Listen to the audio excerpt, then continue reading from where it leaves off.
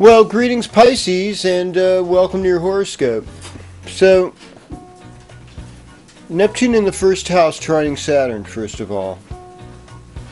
This is a hope, you know, that we as a people will have a discipline in our faith, have our aesthetics of what we think is agape love, what we think is real beauty, and what we think is really matters, that we will have the discipline to do what matters and take that forward. Because, you know, Saturn rules discipline. Saturn rules a big mountain.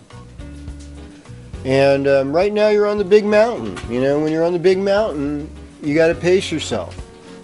You're going to have to sleep somewhere along the way. You're not going to be able to make it all in one day.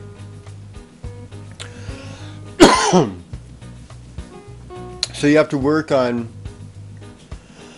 what can help you, what can heal you. And you bring in an element of healing with you, and you really like Scorpio time because Scorpio time is a lucky time for you. It brings good fortune in your life, it brings spiritual bliss, it brings a sense of transformation that is liberating for you, actually, and it allows you, it's a good time for you to travel and see things.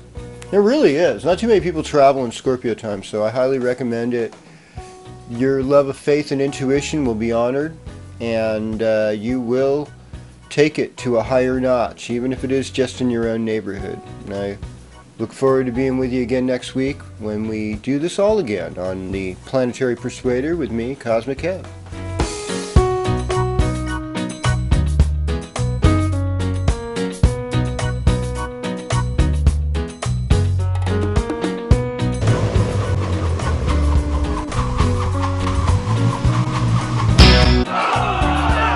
Citizen television.